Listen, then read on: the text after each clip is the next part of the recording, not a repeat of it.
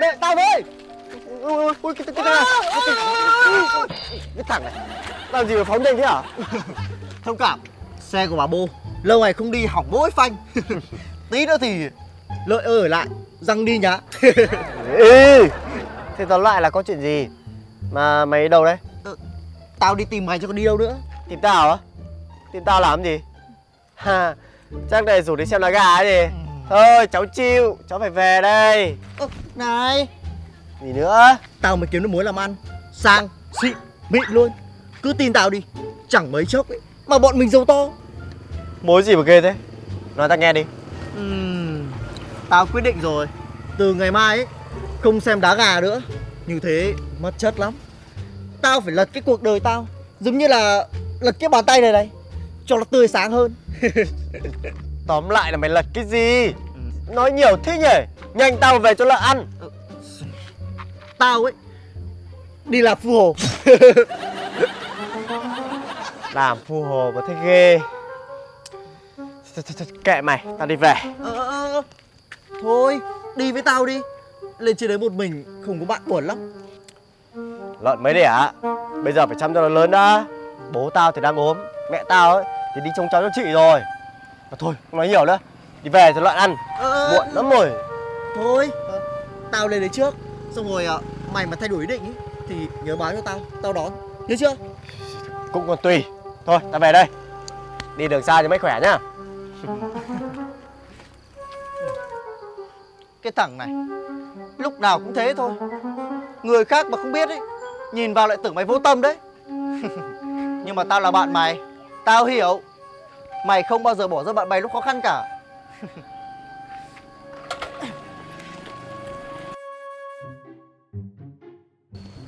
Này, trường tớ vừa có một chuyến ra ngoại vui ơi là vui ý. Ở khách sạn 4 sao hẳn hoi nhá. Cứ phải gọi là xịn, mịn, sang chảnh hết cỡ. Còn tớ ấy thì chẳng được đi đâu cả. Vì bận lo cho mấy cái sự kiện của trường ấy. Này, một mình tớ nhá. Từ khâu kịch bản tới khâu âm thanh ánh sáng đấy. Thôi đi, cậu đừng có mà bốc phét Cậu mà đòi làm từ khâu kịch bản cho đến âm thanh á. Tớ còn làm gì cậu? Chắc cậu lại thuê người để cái công chứ gì? Ờ, Thì đúng thì đã sao? Cũng là công tớ bỏ tiền ra còn gì? Này này này này. Chàng mạch ma hoàng tử của cậu Đang chở rau cho lợn kia kìa. Ui trời ơi Ờ. Trông chán không chứ lị. Bạch mã hoàng tử nào? Chỉ có vớ vẩn. Không đúng ấy thì cậu chứng minh đi Tớ sẽ không chơi cậu nữa. Mà nhìn cậu không đến nỗi Mà lại đi thích một cái thằng chăn lợn. Ui trời Chứng minh thì chứng minh. Làm gì mà căng? Bạn Tân. Đi đâu mà vội mà vàng Mà vấp phải đá Mà quàng phải dây? Lại đây mình hỏi cái này. Chăn lợn nhiều thế Ngu nhiều hơn chưa Nếu như không có chuyện gì ấy, Thì tôi đi trước đây. Ê sao thế? Đời cậu ấy chỉ gắn liền với chân lợn thôi à? Ui trời. Mà này Bọn tớ thấy phát ngại Khi có người nói là Ngày xưa có phải học cùng thằng Tân Lợn đúng không? Có đứa nó còn bảo nhá Cứ về quê mà ngửi ở đâu thấy mùi lợn ý Thì đích thị ở đây có thằng Tân đấy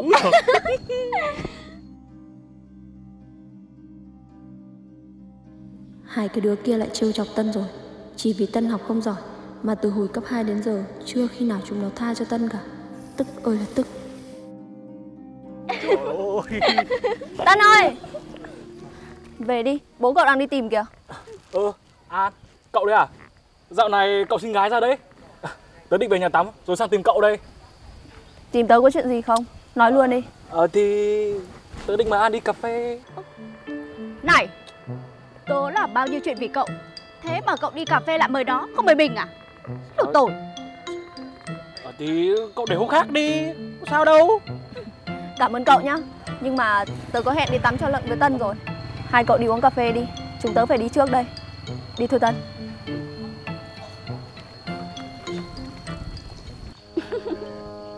Hai Bang tiếng nhà bật phố Bố làm to. Thế mà thua cả thằng chăn lợn Này Nếu là tớ Thì tớ nhục lắm đấy.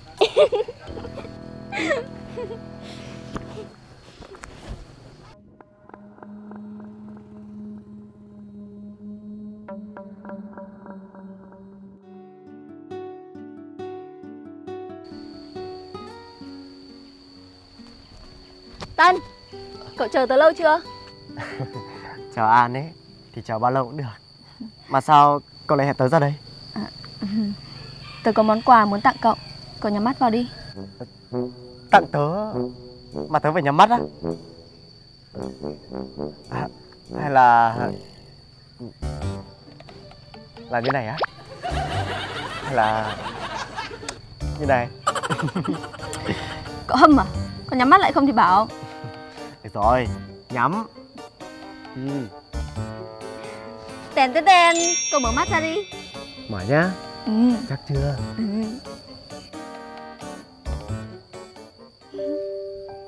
Wow Áo đẹp thế. Đẹp tới từng từng cái mũi chỉ đây. Đúng bắt đầu của An mua ấy. Cái gì cũng đẹp hết. Tớ đi mua bằng tiền tớ dạy gia sư tháng vừa rồi đấy. Sau này đi đâu cậu hãy mặc nó vào nhá. An này Sao cậu lại tốt với tớ như vậy? Liệu có đáng không? Có, rất đáng Vì tớ có cảm giác ý Cậu sẽ không chịu làm người bị bỏ lại phía sau đâu. Sau này nhất định cậu sẽ thành công Cho bọn kia lác mắt luôn. Cảm ơn cậu. Cảm ơn cậu Vì đã tin tưởng tớ. À. Đây là số điện thoại của tớ. Khi nào tiện thì chúng ta nói chuyện nhá.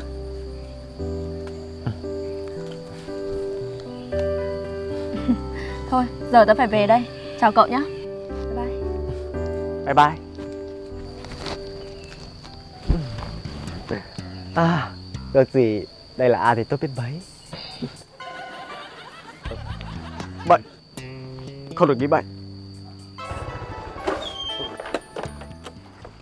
Này Mày định làm gì?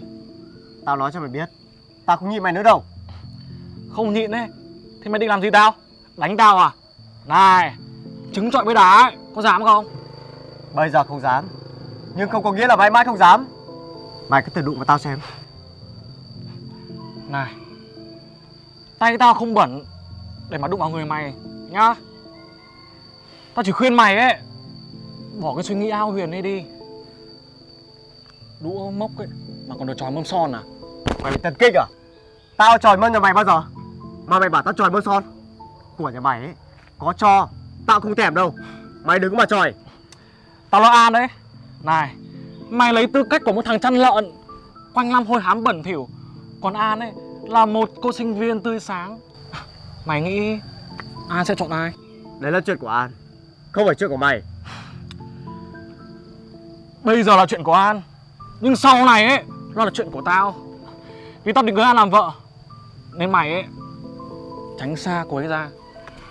Mày có giỏi ấy, Thì cạnh tranh một cách công bằng đi. An yêu ai Thì người ấy cưới An làm vợ. Tao không nghĩ một thằng giàu có Thơm tho như mày lại có thể dùng chiêu trò bẩn Để có được tình cảm của An đâu. Thằng khốn này. Này, Chuyện tiểu thư với nàng nông dân ấy, Chỉ ở trên phim thôi. Còn mày ấy, Về nhà, Nghĩ ngày mai cho nó ăn rau gì đi. Đủ tiền mua cám cho nó chưa? Nhá, Cẩn thận, Chéo đau quá Ngã đau đấy.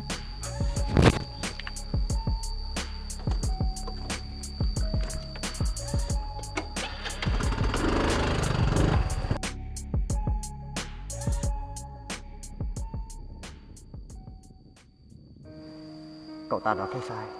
Mình lấy tư cách gì để thương An? An vừa xinh đẹp, Vừa giỏi, Vừa tốt bụng. An xứng đáng có được những điều tốt đẹp hơn. Không được. Mình không thể nào tiếp tục sống như này được nữa. Mình phải thành công. Mình muốn An được mặc bộ váy cưới đẹp nhất, Sống một cuộc sống sung túc nhất. Bây giờ làm lại từ đầu, Vẫn chưa là muộn.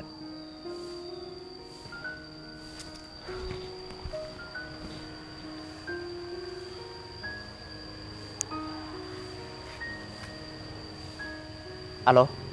Ân à? Ơi gì đấy? Nhanh nhanh tao đang dở việc. Ờ À Thì là cái chuyện đi phù hồ đấy. Bây giờ ta có kinh nghiệm rồi. Thì ờ, lương lậu thế nào? Tìm mày ở đâu? Lương ổn quyết rồi ấy thì vài hôm nữa tao đem tiền về cho ông bố bà bô rồi ờ, tao đón đi luôn. Vậy nhá, tao làm đã. Mày cứ thu xếp đi.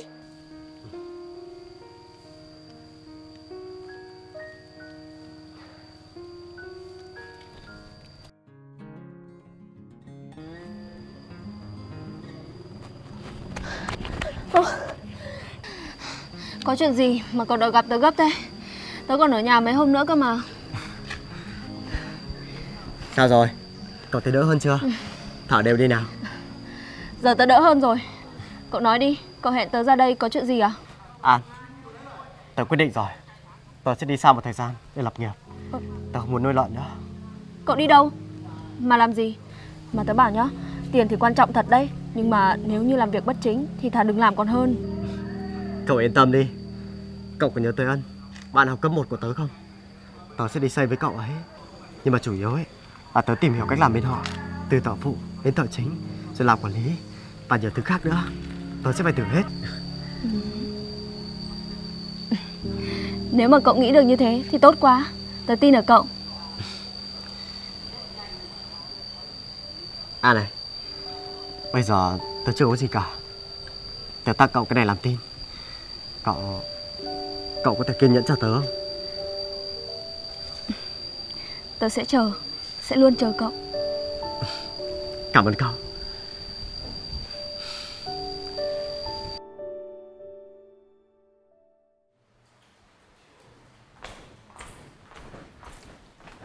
Này Hỏi tí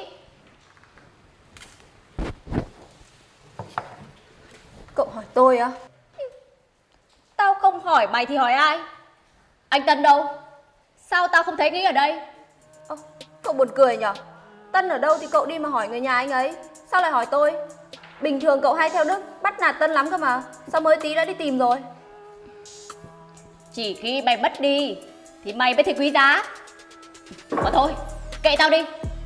Nhất định là mày có số điện thoại của anh Tân. Cho tao đi. Tôi không có. Tự nhiên Tân đưa số cho tôi làm gì? Mày đừng có giấu nữa Rõ ràng là hai người thích nhau còn gì. Tôi đã bảo không có là không có. Cậu đang làm phiền tôi đọc sách đấy. Xin phép, không tiễn.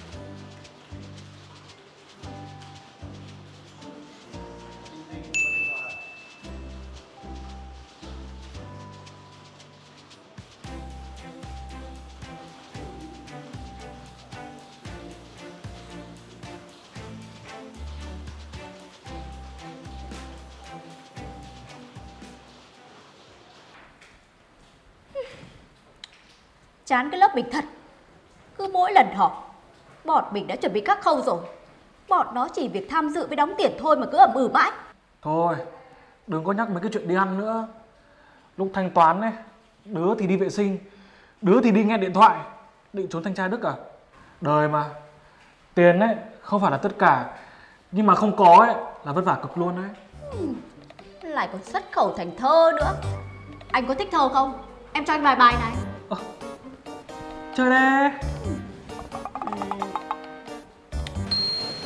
Hôm qua chó ngáp bài ruồi Thôi thôi thôi thôi. thôi.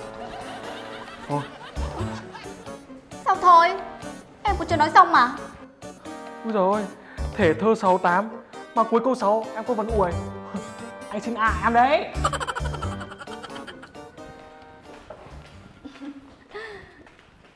Hai người dạo này thân thiết thế nhở Nhân tiện đợt họp lớp này Sao không mời cưới luôn đi Các cụ đã bảo rồi. Ngưu tầm ngưu Mã tầm mã thôi. Chúng tôi bây giờ Đã làm trong cơ quan nhà nước rồi. Đâu có thể chơi với người chăn lợn Hay là phụ hồ được. Anh nhở? Bọn tớ quyết định họp lớp Nhưng ở quê bây giờ cũng không còn nhiều người nữa. Việc lên kế hoạch ấy Ăn gì, uống gì Ăn là giúp tớ nhá. Sao lại là tớ? Hai cậu quyết định mà Cậu làm kế toán Lại của tư nhân Lên có nhiều thời gian rảnh. Chứ bọn tớ làm nhà nước Thời gian gò bó lắm. Cậu giúp mình nhá Có gì liên lạc ấy Để tớ làm cho. Thế còn tân lợn thì sao? Thì thôi chứ sao. Bây giờ ấy Tụi mình toàn làm trong nhà nước hết cả. Đó chỉ là thằng phụ hồ thôi. Đến anh mạch nhếch nhác. Này Sợ ấy Nó không ăn được ấy. Này Cậu đừng có mà gọi cậu ta đến đấy. Cậu mà gọi cậu ta đến ý Là tôi cấm cả cậu luôn đấy. Đi thôi anh. À À này Cậu đến sau ấy Thì ờ, trả tiền nước hộ bọn tớ nhá. Bọn tớ bận rồi Bọn tớ đi trước đây. Ờ đi thôi anh.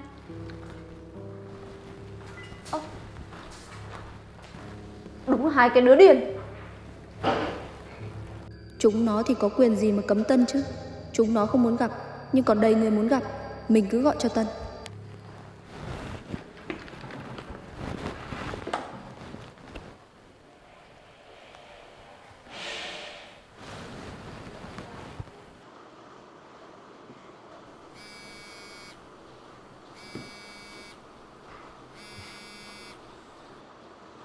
Alo, mình nghe đây.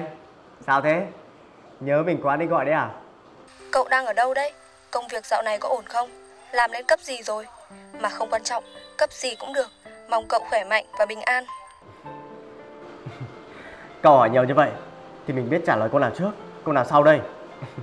mình vẫn khỏe, làm lên cấp ờ, cấp 4 rồi, nhà cấp 4 ấy. Mấy hôm nữa mình cũng đang tính về nhà để gặp cậu đây. Tốt quá, thế cậu về đi Mọi người đang bàn nhau vài hôm nữa họp lớp Họp lớp á? ok, vậy thì mình sẽ về. Hẹn gặp lại cậu nhé.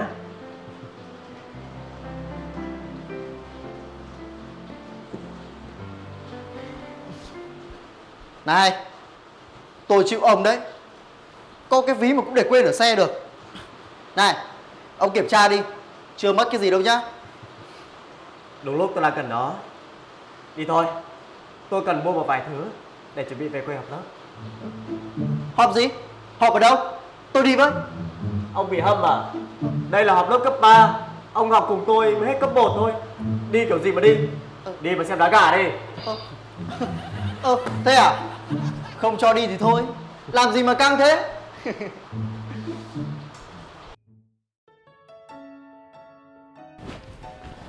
Mời tiểu thư ngồi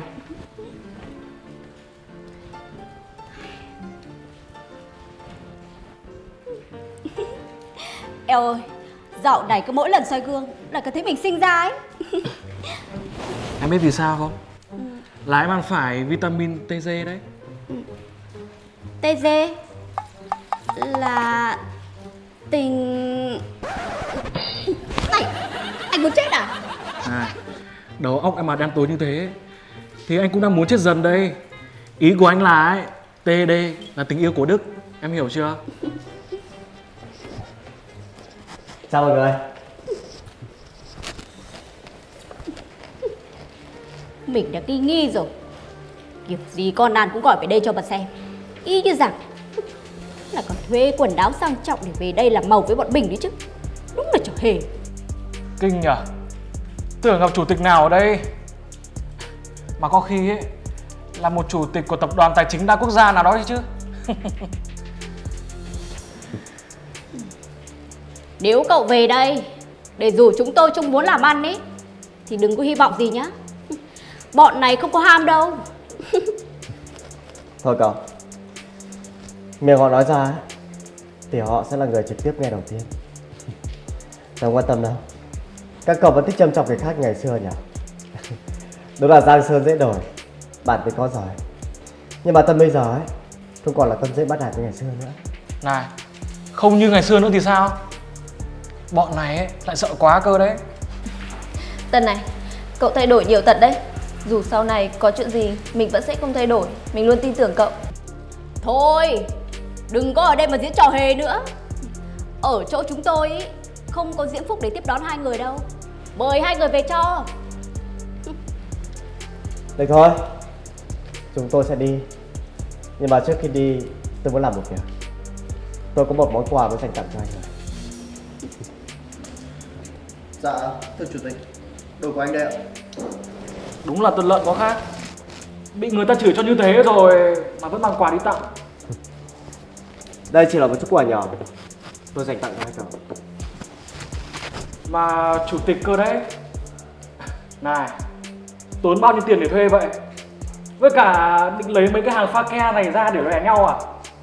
Bọn này ấy, chỉ dùng hàng chính hãng thôi nhá. Nếu như hai cậu không tin ấy Thì có thể check đi.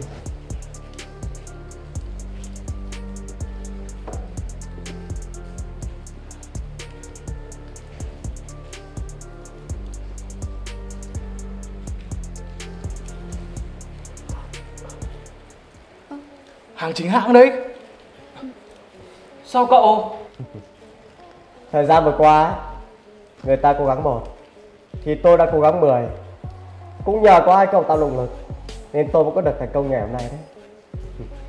Nhân tiện đây Tôi cũng muốn nói với hai cậu một điều. Việc đời vốn khó đoán Người đối với người cũng vô thường. Nên không ai biết trước được tương lai sẽ ra sao. Vì vậy Từ nay về sau tôi mong hai cậu Sẽ bớt kinh thường người khác đi nhé.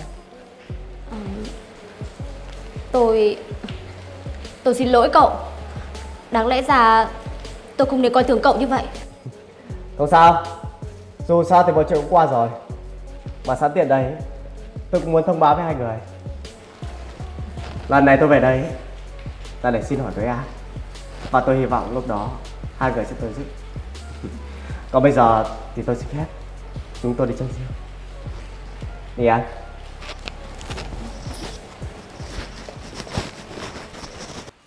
Vậy Nó là chủ tịch thật rồi. Biết thế ngày xưa ấy, đừng coi thường nó. Có phải bây giờ ấy Nó tặng mình con xe mạc rồi đúng không? Đúng là ngu thật ấy Đến nước này rồi mà anh vẫn còn cái suy nghĩ đấy à? Đúng là đầu to mà óc như trái nho. Em quá thất vọng với anh đấy. Nghỉ đi Không có yêu đương gì nữa. Cái, cái, cái gì? Huyền Ơ.